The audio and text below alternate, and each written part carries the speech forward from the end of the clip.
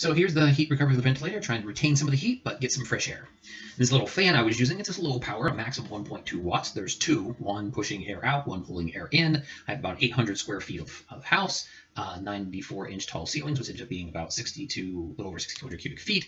Um, so 7.56 cubic feet uh, per minute fan is not a whole lot, but 60 minutes and so forth, it ends up being about 1.7 whole house air changes per day. Um, this is the temperature probes, all showing the same temperature initially. Um, and then we have 40 degree roughly temperature day, and then I have roughly a 30 degree temperature day, and then there was a roughly 20 degree temperature day, and then we got down to roughly a in the teens outside temperature. Okay, so I took all that data and I threw it into a basic little spreadsheet here. Going to walk you through it.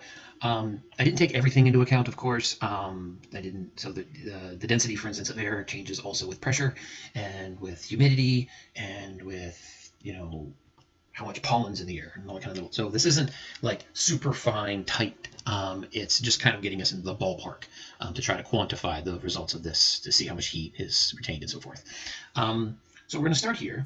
This is the, um, I'm using 7.56 cubic feet per minute. Now there's two of those fans, but because one blows out and one blows in, that's basically only one of them worth of air that's being changed because they just balance each other.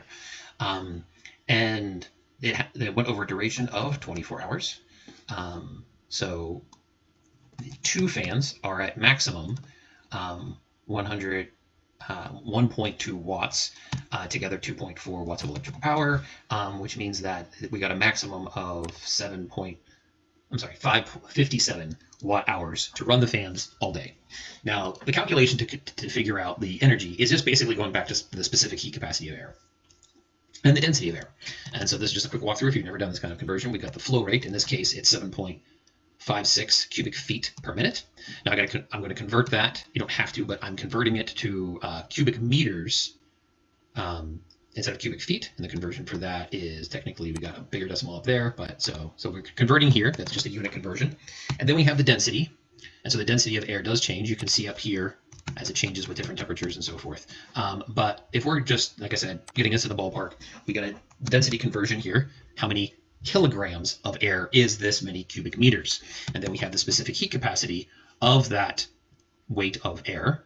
And then the specific capacity um, is that much per degree K or Kelvin. Um, it's the same scale size as Celsius, so you can use Celsius. You just have to be aware that it has to be an absolute measurement. You can't flip signs. Um, so uh, if you're all on the plus side of Celsius, you could just use straight Celsius. But since if you go over the freezing point, um, then you need to do a conversion to get into Kelvin. So it's just um, delta K is just a change, high minus low. You just need to know the difference. And then a unit conversion, we want to say how many minutes are in an hour. And then another unit conversion, how many hours in a day. So for example, just one of these and one degree K or one degree Celsius of temperature change for running that all day long ends up resulting in 178 uh, 107.8 watt hours per day. Um, for that one degree of difference for all that air, when all that air ended up being about 10,886 cubic feet in the day, which for the density of air is going to be around 386 kilograms of air over the course of that day.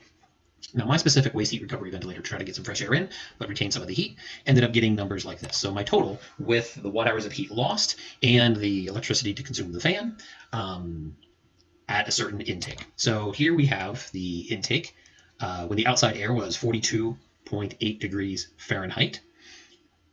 I was able to waste heat recover and bring that up to 64.6 degrees Fahrenheit before coming into the house. Um, the inside air temperature lost uh, 2.7 degrees Fahrenheit in that exchange, um, which resulted in about 219 watt hours of energy lost throughout the day. Um, so when the outside air temperature was 35 degrees, it warmed it up to 63 and cost me about 273 watt hours. When the outside air temperature was 24 degrees Fahrenheit, it warmed it up to about 62, and that cost me about 447 watt hours. And when the outside air temperature dropped down to 17 degrees Fahrenheit, this actually managed to pull it back up to 61 degrees Fahrenheit, which was a uh, um, 555 roughly watt hour of energy lost Um, so it, it gave me that fresh air. It did still lose a chunk of energy, but not nearly as much as if I just pulled straight 17 degree Fahrenheit air in um, because of the recovery. I also show a couple little things here, like the percentage of the original retained. So on the inside, um, you can see when the temperatures are closer, we don't lose as much. Um, and then and then as the temperature difference gets bigger and bigger outside, I'm losing more and more. And the same thing on the outside. Uh, we start off tighter, and as the outside gets colder and colder, um, we're losing more and more. um, so that's roughly how it performed. Fairly good all in all. Um, of course, a higher cubic feet per minute fan would be able to move more air, but even just this little 7.56 cubic feet per minute fan over a 24 hour period is going to move a chunk of air. Um, so it's enough for ventilation purposes for this. And that's how well this performed. I'll eventually be moving on to combine a small uh, heat pump modification hack, uh, which will allow this. It'll cost more electricity, but it will uh, hopefully perform a little better. But just straight up, just running the fan, this is how well it well works.